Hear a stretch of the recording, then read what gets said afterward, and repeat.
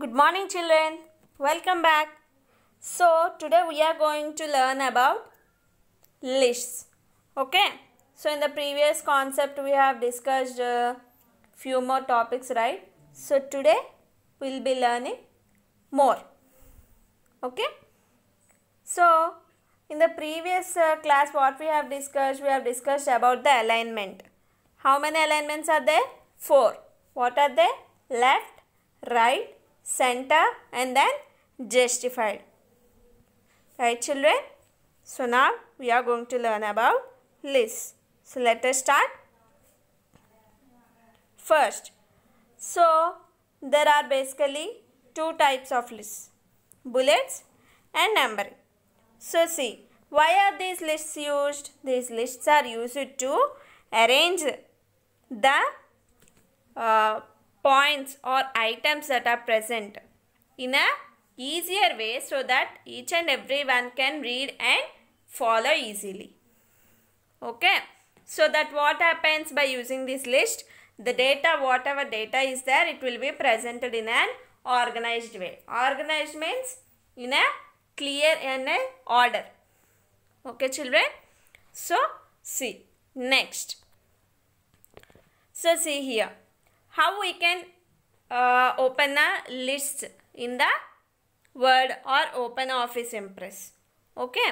So, in Open Office Impress, in order to insert a bullet list, we should go to Format menu and then you should select Bullets and Numbering option. Okay. In Open Office Impress, first of all, we should go to Format menu and then you should select bullets and numbering option that is present in the drop down list. Okay children. So see they have uh, circled the symbol so that we can easily identify the bullets and numbering list icon. Okay children. Next.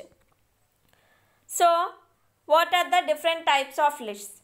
First one is a bullet list.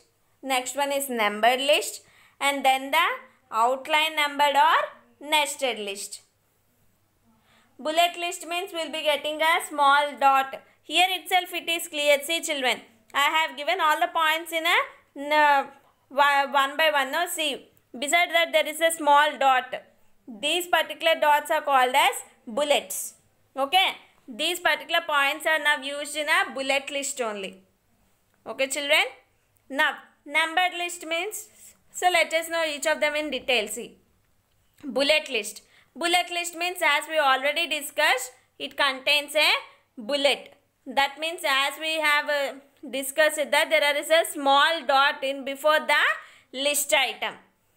Okay. If it is a bullet list, we won't have any sequence. That means there is no such rule that after this point only we should write this point. Okay. So see here what I have written first. First I have written bullet list contains a bullet that refers to the symbols that bulleted can be placed before the list items.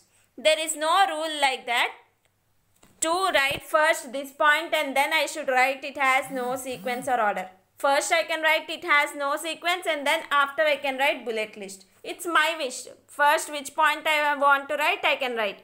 If it is a bullet list. Okay. If it is a numbered list, I cannot write like that. Clear children? Next. So see here they have clearly showed you the bullet icon in the output. See before chocolates there is a small dot which is a, a symbol called as bullet. Okay. See chocolates, milkshake, cheese, bread. These all are given in a bullet list. I can follow any order. First I can write bread. After that I can write cheese. After that I can write chocolates. Whatever I want I can write. Okay. Next. Number list. Number list means what? As we'll be having numbers means 1, 2, 3 and all. So then what I should do? I should uh, follow a sequence. That means uh, after 1 only I should write 2. Uh, after uh, 2 only I should write uh, 3. We should not write after 1 we cannot write 3. After 2 I cannot write 1. Right? So, in this number list, we'll be having a proper sequence. In bullet list, we won't have any sequence. Clear children? Sequence means order. Clear? Number list means we'll be getting 1, 2, 3.